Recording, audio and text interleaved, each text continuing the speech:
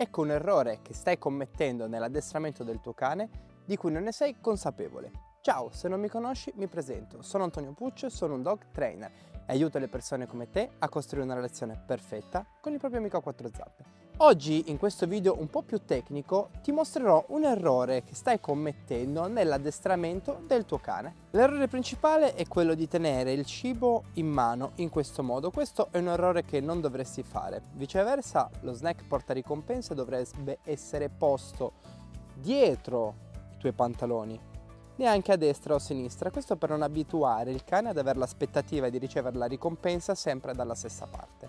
Sempre per il concetto di evitare di creare nel cane l'aspettativa di ricevere la ricompensa sempre dalla stessa parte, quello che dovresti fare è una volta andare a ricompensare da destra quella che è l'esecuzione corretta dell'esercizio, delle volte andare a ricompensare da sinistra, quindi senza mai tenere uno schema ben specifico. Questo perché non dobbiamo appunto andare a creare quelle che sono delle aspettative da parte del cane per evitare che anticipi il comportamento e che addirittura vada a sporcare il comportamento nella eccessiva desiderio di raggiungere la ricompensa.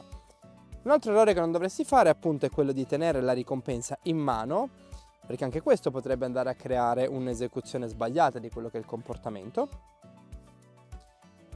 e per ultimo quello che potresti anche fare è non andare ad erogare sempre il cibo dalla tua mano in questo modo, ma potresti anche lanciare il cibo al cane per andare a creare anche un feedback diverso rispetto all'erogazione delle ricompense, come in questo modo.